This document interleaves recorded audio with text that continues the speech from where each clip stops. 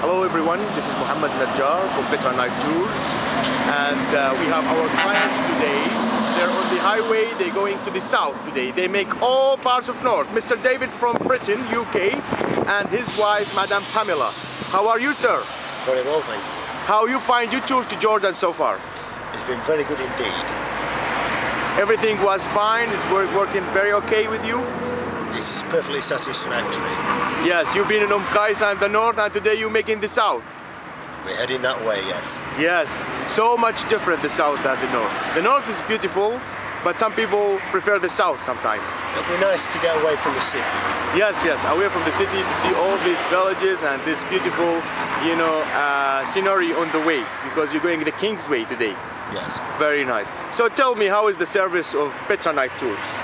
Excellent. It's so good? Far, yes. How is the hotels? How is the driving? Everything?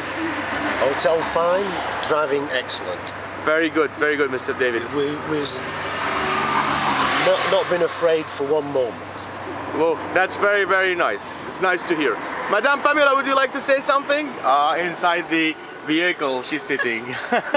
How are you, Madame Pamela? I'm fine, thank Would you like to say something about your tour to Jordan? Yes, I'm really enjoying it. Very nice, It's really good.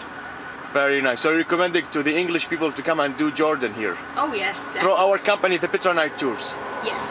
Thank you very much. I just want you guys to enjoy your time and thank you for giving me this time to interview you and to tell me something about your tour to Jordan so far. Thank you so much and may God bless you and enjoy the rest of your tour. Thank you, sir. Goodbye. Yeah. Bye. Good health and good fortune. Thank you, sir. Goodbye.